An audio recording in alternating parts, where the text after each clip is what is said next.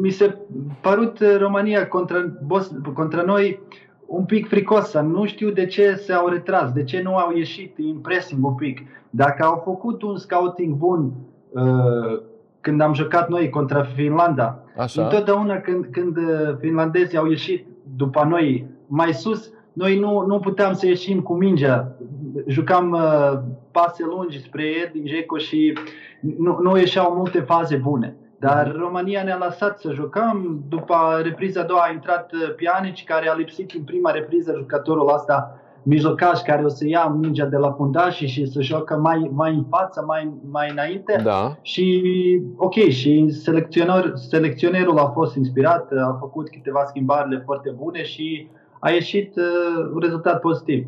Eu nu, nu știu de ce, de ce România n-a, n-a, n-a făcut lucrurile prin, prin benzi unde, unde sunt sigur că a putut să scoată mai mult decât uh, să pierdă 1-0. Deci tu spui că România practic nu a speculat un moment foarte bun pe care l-ar fi putut Cu... de care ar fi putut profita. Eu, nu vreau, nu vreau să fiu, cum să spun, eu sunt fotbalist jucător și acum joc. Da. Uh, nu vreau să intru în ceva. Selecționerul și staful lui știe mai bine ca noi. Da. Știe ce, ce trebuie să face înainte de, și în timpul meciului.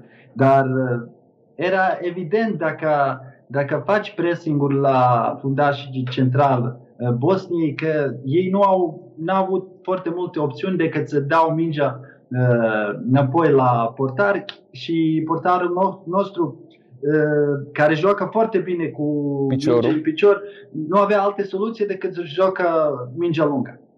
Dar România nu, nu, a, nu a făcut lucrurile astea și uite, S-a întâmplat și s-a întâmplat. Uh, patriotism, un pic de patriotism. Ok. Eu cred că, că a lipsit un pic patriotismul lui Naționalei României. Au jucători foarte buni, foarte frumoși, uh, cum spun, tehnici, da. au jucători cu calitate, dar le-a lipsit un pic uh, patriotismul, să spun așa. Ok. Interesant. Ok, sunt și obosiți.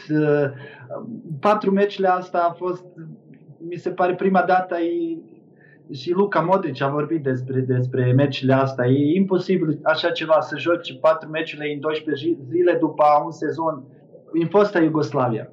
O singură țară, ok, și Montenegro a arătat patriotismul și Serbia și Slovenia și Bosnia, dar nicio țară nu, nu, nu iubește, niciun jucător la națională nu iubește mai mult uh, țara ca jucătorii croați dacă, dacă te uiți la ei, fiecare meci, nu contează, dacă, uite, Luca Modric a făcut peste 60 de meciurile, Brozovic, da. nu știu, alți jucători. Și ei când se ducă la națională, pentru ei asta e ulti, ultimul nivel de fotbal. E chestia supremă asta din carieră, să te duci la națională, indiferent de câți bani câștigi la club, Naționala e... Cel mai bun exemplu e Luca Modric. Uitați-vă, a câștigat Liga Campionilor, e super obosit, da. nu mai poate să stea pe picioare și se duce înapoi în țara lui, în loc să spune lui acțione, uh, selecționerul că nu mai poate, nu mai da. Și ar fi obosit, putut să facă asta. Putea să zice orice. Da. Nu, el se duce, lasă familia sa, acasă el se duce la națională 12 zile, e concentrat și uite câte meciuri a câștigat. Contra Franța, a, a făcut egal, mi se pare, acasă. Da a făcut lucrurile bune.